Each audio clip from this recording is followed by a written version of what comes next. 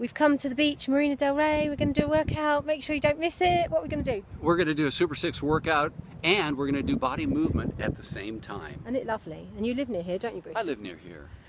You're lucky. Do you build sandcastles at the weekend?